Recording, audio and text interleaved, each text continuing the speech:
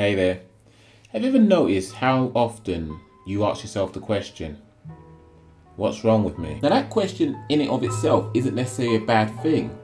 It's the frequency in which we ask ourselves the question, which I feel can be quite destructive. Now, there's going to be times where we're going to need to ask that question to know whether we're not feeling 100%, what could be the cause, whether we need to go to the doctors, go A&E, clear the air with someone we've fallen out, you know, things like that. However, if we're not asking those questions simply to get to a root cause, I feel we're causing ourselves more harm than good because we're just focusing on the negative.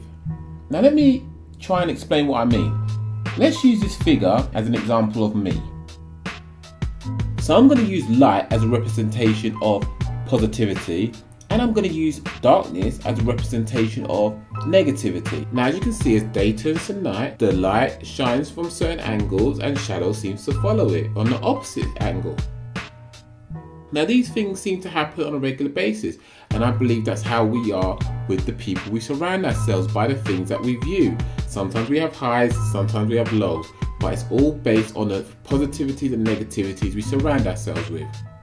Now, if you notice, if we focus on one source of positivity in our life, we have a harsh shadow of negativity directly behind it. Now, that in and of itself is a one on one situation. You can either focus on the positive or you can focus on the negative. But when you have multiple sources of positivity surrounding you, that negativity that was quite harsh at that original point seems to dispel and to be slightly diluted.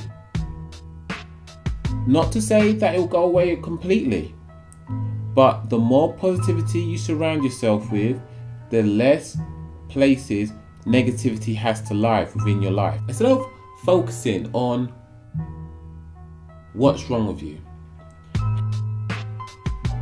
how about you flip on its head and focus on what's right with you? Hope you've enjoyed. Look after yourself.